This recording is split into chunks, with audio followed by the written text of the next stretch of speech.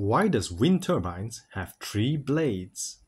Traditional windmills have four blades. Some fans have five blades.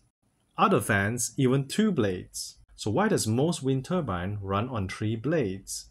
Let's find out in this video. Let's start with one. With only one blade, there isn't much balance. And because of that, it is hard to start spinning.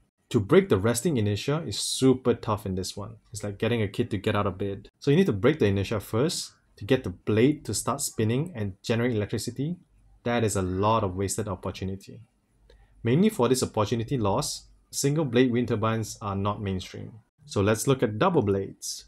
More blades means you get to capture more wind and higher conversion rate efficiency. But the thing with dual blades is that there's a strong equilibrium point where if the wind stops, the position of the blades will naturally fall into this point, and you will need a very high activating energy to overcome this inertia and to get it moving from rest position. So we have the one, the chosen one, the special one, three, three blades. Three for me and two for them.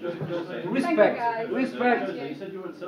The three blades would cover and capture even more wind than two blades.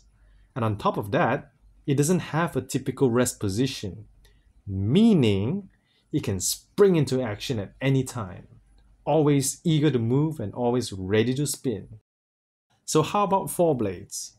Some fans have four blades, even traditional windmills uses four blades. While it is true that four blades will capture more wind compared to the three blades, having more blades on the turbine actually causes air friction and drag which is why at the low speed, the turbine with more blades perform better as they capture more wind. Basically, less wind is slid past between the gaps and more wind is just captured by the blades.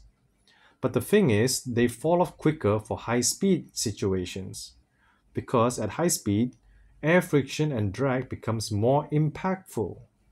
In other aspects, three blades have a smaller resting inertia compared to having four blades. Four blades is easier to find a balance point where the turbine will have a harder time to move from rest position. Also, it's also the cost.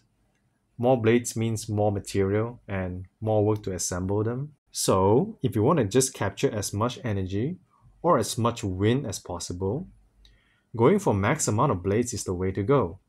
Efficiency in this context is no longer about how much energy per blade can be harvested. It's about how much energy can be harvested from this and have as little losses as possible. But if you're looking for efficiency per blade, free is the way to go. Also, wind turbines are like hard to transport to places and they are very hard to recycle. Go green. You're watching the Fooncy channel. Toot, toot.